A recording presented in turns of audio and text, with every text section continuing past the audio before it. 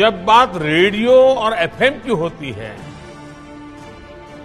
तो हम जिस पीढ़ी के लोग हैं, हम सबका रिश्ता एक भावुक श्रोता का भी है। और मेरे लिए तो ये भी खुशी है कि मेरा रिश्ता एक होस्ट का भी बन गया है। अभी कुछ दिन बाद ही मैं रेडियो पर मन की बात का सौवा एपिसोड करने जा रहा हूँ। मन की बात का ये अनुभव।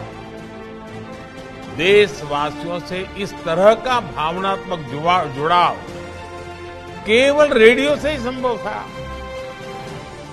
मैं इसके ज़रिए देशवासियों के सामर्थ्य से जुड़ा रहा, देश की सामूहिक कर्तव्य शक्ति से जुड़ा रहा।